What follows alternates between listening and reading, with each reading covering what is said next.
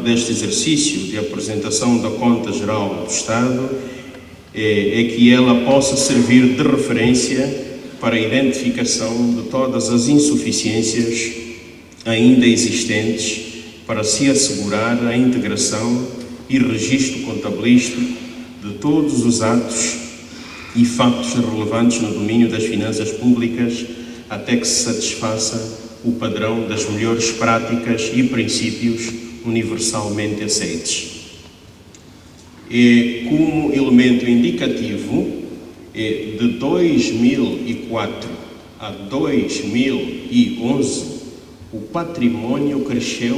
em cerca de 8.955%.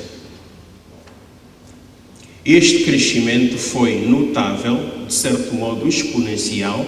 eh, no património referente aos imóveis,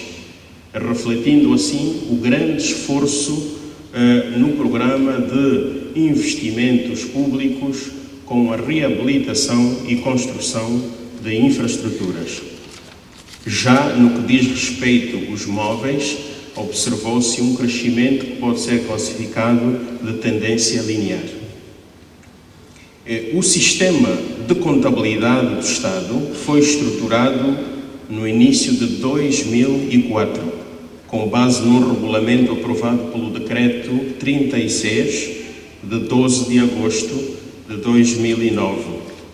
fundamentado na necessidade de definir a finalidade e as competências de tal sistema,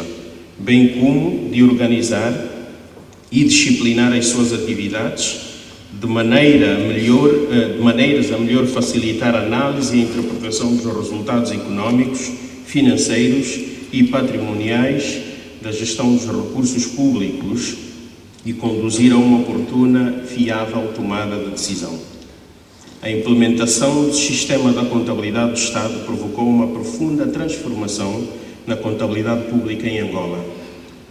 O Plano de Contas do Estado constitui-se na principal componente desta transformação, por ser o elemento que traduz as informações contabilísticas nas demonstrações financeiras e os relatórios que compõem a Conta Geral do Estado.